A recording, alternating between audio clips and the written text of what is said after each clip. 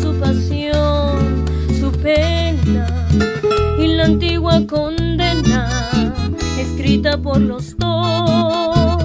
Afuera creo ver tu sombra renacer serena bajo del mismo sol que un día siguió.